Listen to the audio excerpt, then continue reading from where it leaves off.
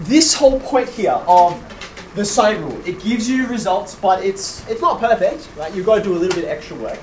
Is one of the reasons why we're going to look at today's concept. Okay, so draw yourself up a new random triangle, but if you draw it like this, that'll help you keep up with what we're all doing.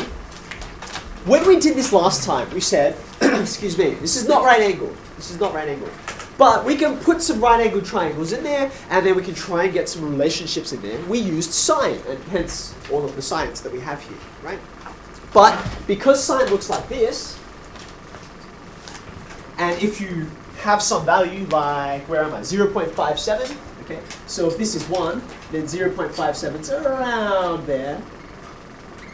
I get my two solutions and that's why there's this problem, okay?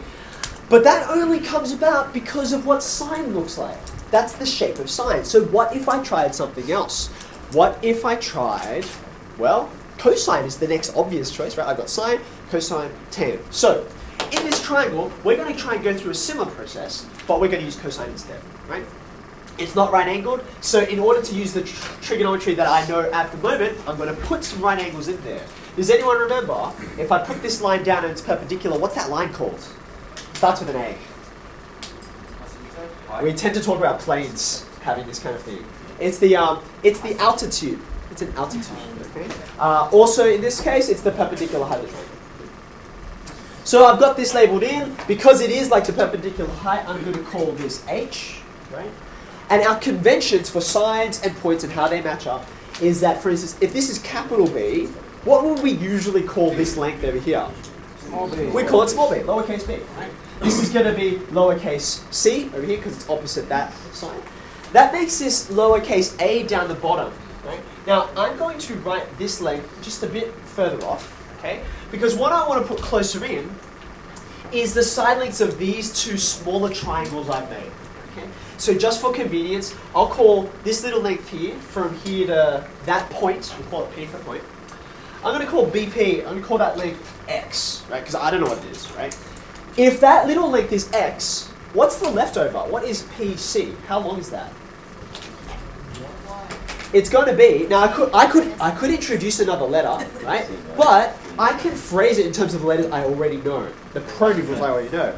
Yeah, it's this length is the whole length A. Take away this x that I just introduced, right? AC minus X. So, so I could say um, BC, x, or I could just use my lowercase a, and that'll be um, nice and simple. So, are you happy with that? A take away x. Now, we're going to use cosine. Okay, we're going to use cosine instead of sine. But before I reach for that, I noticed that because I've got these right angled triangles, I can use Pythagoras in this pair of triangles as well, right? Because h is kind of like the connecting piece between the two triangles. I'm going to say, in this left-hand triangle, in triangle ABP, okay, through Pythagoras, I can make a statement about h squared, okay? Like this squared, that squared, and this squared, right? And at the same time, in this right-hand triangle, I can say in triangle, what's it called? ACP instead of ABP. I can say another thing about h squared. Now, just to pause, right? Mathematicians do this all the time. They look at the one object and they try and approach it from different angles, literally, right? Try and get a different perspective on the same thing, and that tends to yield insight, right? It's a mathematical thing to do. So, over here, right? h squared, it's not the hypotenuse, is it? Okay, so I can't say h squared equals something squared plus something squared, because it's the shorter side, what should I say instead? I'm going to do take away, right? So I've got c squared, there's the hypotenuse over here on the left, opposite the right angle. Take away x squared. Are you content with that? H squared equals c squared minus x squared. And that's by Pythagoras. It's an implication of Pythagoras. Over here, I'll do exactly the same thing, except this is my hypotenuse, right? b squared. What am I taking away? Yeah, I've got a minus x, and I've got to square that whole thing, right? The whole side, a minus x, that has to be squared. Okay. I need some more space, so bear with me. Now that I know what h squared is, and I'm seeing it from two different angles, because it's equal to this, but it's also equal to this, it's pretty reasonable to assume that this and this are really actually equal to each other. So I can kind of cut out the middleman, as it were, right? So I can now say, therefore, which side am I going to put on which side? I'm going to put, hmm, which way have I done it? I'm going to put c squared minus x squared equals b squared minus a minus x squared. Are you okay with that? You can see they're, they're both versions of h squared. Are you content with that? So if it's equal to that and it's equal to that, they should be equal to each other. So far, so good. Now, this is true, this is true, but I want to simplify this a little bit. And I know in advance, before I do anything, I should be able to simplify something. Here's how I know. Can you see there's an x squared there, right? Or a minus x squared. On the right hand side, there's something I can expand. Once I do it, because there's an x and it's being squared, right? I'm going to expect that there will be a minus x squared on the right hand side as well. If you've got the same thing on the left as you have on the right, you can get rid of both of them. Okay? So that's kind of what I'm anticipating. Let's give this a go. There's not much to do on the left hand side. Let's expand out this right hand side though. Okay? b squared take away. What is a minus x once you square it? What am I going to get? I'm going to get a squared minus 2, 2 what? 2 what? 2ax, very good. And then, that's okay, that's why we're doing this now. And then you take that x and you square it, right? But because it's minus x and it gets squared, the negative disappears, doesn't it?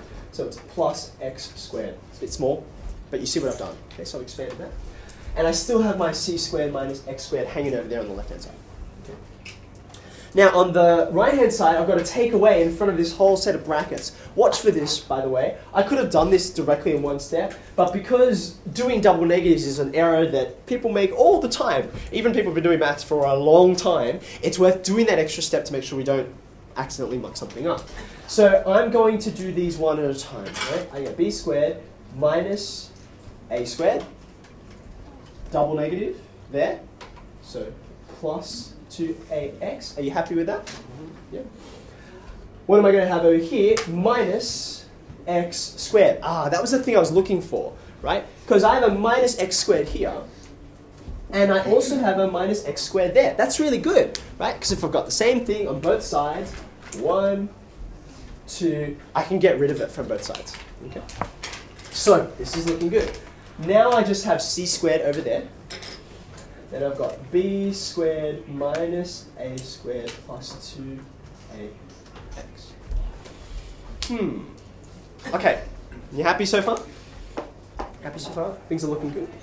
Okay, now, what can I do with this? Because I have C, B, and A, right? That's really good. They're the three sides of my original triangle. You remember that? Okay. But I've got this pesky X hanging around. I don't really want that to be there. Okay? Um, I want that to be replaced by something in terms of the A and B and C that I started with. Okay? So here's what I'm going to do. Where, where is X in this diagram? It's in this left-hand triangle. This guy. Okay? That guy there. Right?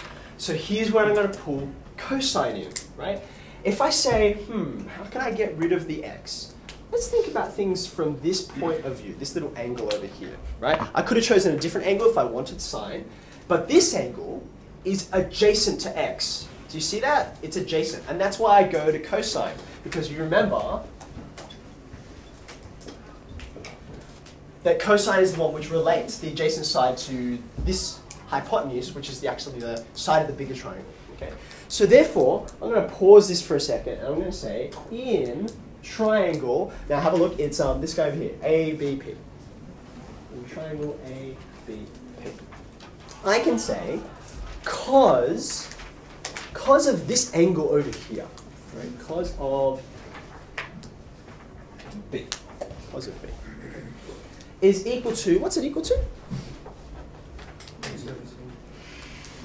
X over C, adjacent or hypotenuse. You happy with that? Okay. So now here, I just need to tweak it a little bit to say, well, what's X equal to? Once I've got x equals to something, I can replace whatever that's equal to.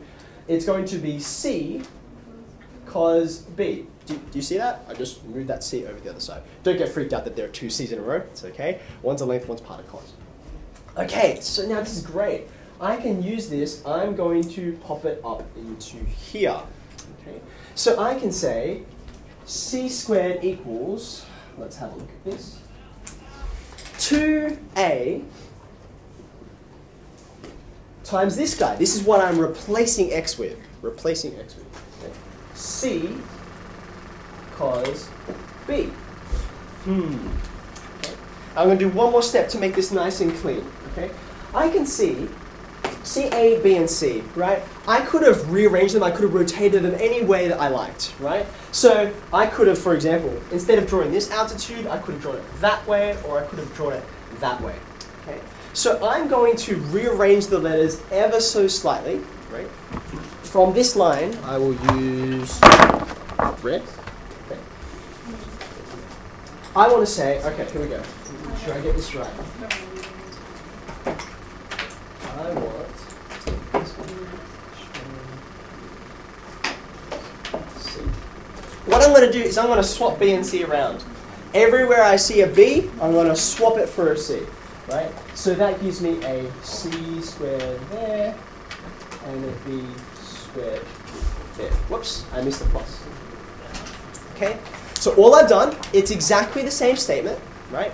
I'm just looking at it from a different angle, okay? Literally from a different angle. So I've swapped my B's and my C's, and they're all fine. Now, see how I've got an A squared and a B squared and a C squared, right? We use A squared and B squared and C squared in Pythagoras all the time. In fact, Pythagoras almost springs out of this, right? Usually we have C squared as the subject of Pythagoras. C squared is equal to something, right? I'm going to make it the subject now. I'm going to say C squared is equal to, and so I've got to get all this other stuff on the other side of the equation. Do you see that? I want it by itself. Okay. So therefore, I'm going to add an A squared. I've already got a B squared hanging over there. This is a plus, so it's going to become a minus on the other side.